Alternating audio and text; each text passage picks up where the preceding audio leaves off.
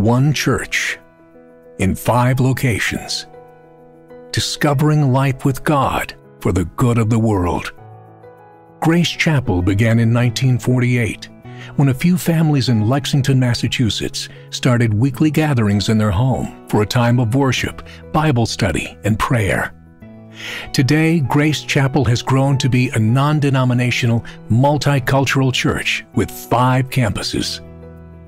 About eight years ago, the elder board and senior leadership at Grace Chapel started their journey towards becoming a multi campus church. One of the great joys we've experienced as a church since implementing this multi-site model of ministry is seeing more and more people be equipped and sent out to do ministry in their neighborhoods all across greater Boston.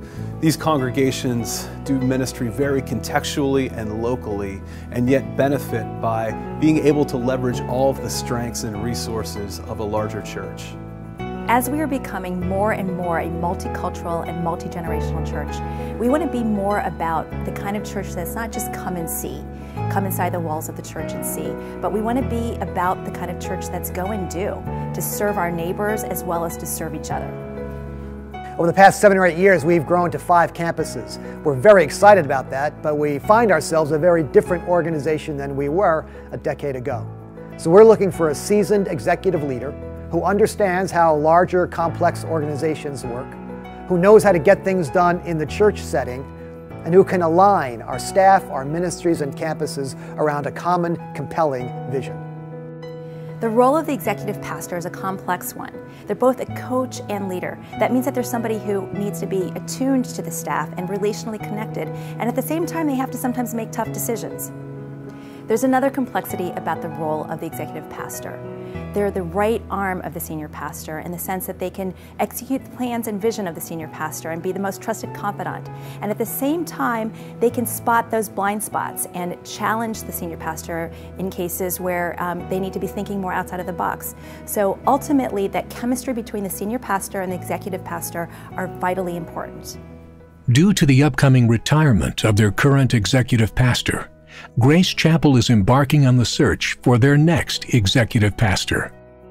As we look to the future, we are all about helping more people in more places to discover life with God for the good of the world.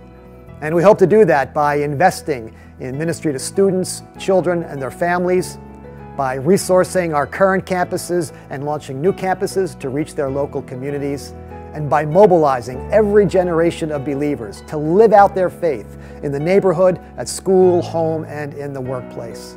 We're trusting the Lord to lead us to the person who can help us write the next chapter in the story of a great church. Grace Chapel is partnering with Job JobFit Matters on this search.